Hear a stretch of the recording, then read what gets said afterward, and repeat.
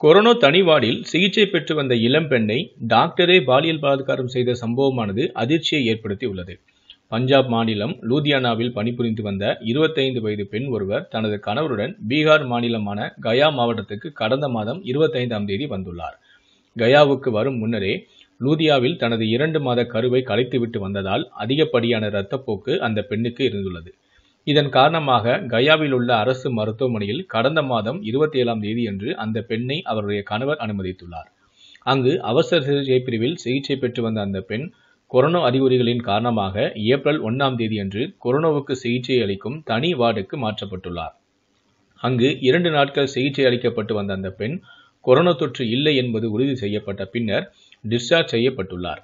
வீடு திரும்பியதில் இருந்தே அந்த பெண் பயத்துடனும் ஒருவிதமான நடுக்கத்துடனும் இருந்ததால் அவரது மாமியார் அது பற்றி விசாரித்துள்ளார். அப்போது கொரோனா மருத்துவரால் பாலியல் வன்கொடுமைக்கு உள்ளாக்கப்பட்டதாக அதிர்ச்சிகரமான தகவலை அந்த பெண் அளித்துள்ளார். தொடர்ந்து அந்த பெண் கடுமையான இரத்தப்போக்கு காரணமாக ஏப்ரல் ஆறாம் தேதியன்று உயிரிழந்துள்ளார்.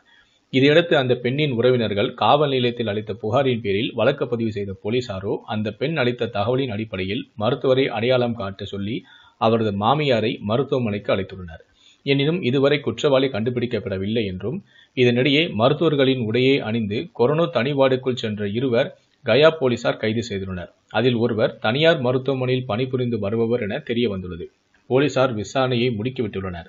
அதே சமயம் குற்றச்சாட்டு குறித்து விசாரித்து வருகின்றோம் என்றும் சிசிடிவி காட்சிகளின் அடிப்படையில் குற்றவாளியை கண்டறிந்து கடுமையான நடவடிக்கை எடுக்கப்படும் எனவும் மருத்துவமனையின் கண்காணிப்பாளர் தெரிவித்துள்ளார்.